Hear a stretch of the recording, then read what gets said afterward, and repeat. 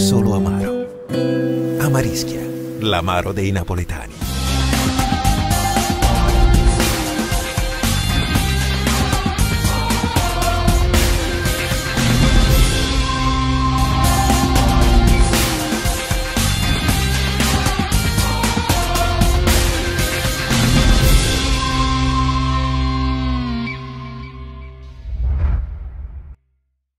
Un sabato da dimenticare per il Napoli che dopo il successo in extremis della Juventus contro la Lazio crolla in casa con la Roma e viene sconfitto 4-2.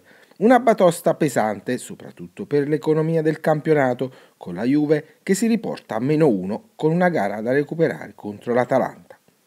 Avvio di gara scoppiettante.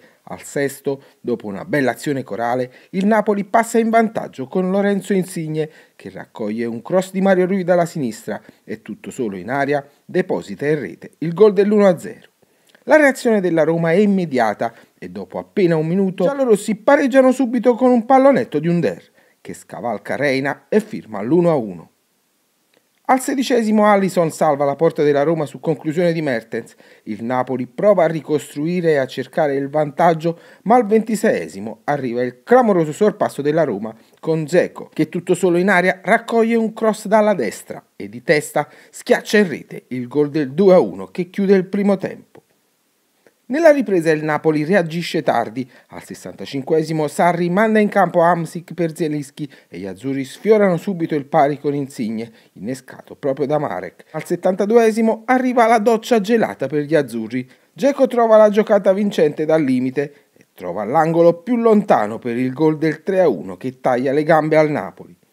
Al 79 arriva addirittura il poker della Roma con Perotti che tutto solo in mezzo all'aria insacca il 4-1. Al 90 Mertens prova a rendere meno amara la sconfitta con il gol del 4-2, ma per il Napoli è una serataccia. Dopo il successo della Juve in extremis e la pesante sconfitta con la Roma, sul Napoli cala il gelo. La strada per il tricolore si complica, ma il Napoli guarda avanti Domenica difficile trasferta a San Siro contro l'Inter.